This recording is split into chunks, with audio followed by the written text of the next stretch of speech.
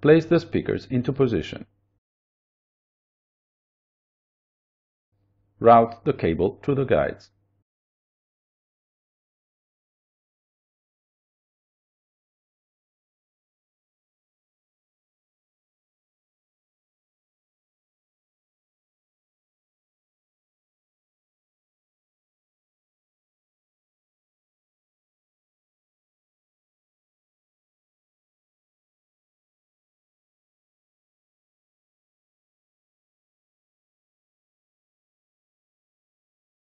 Install four screws.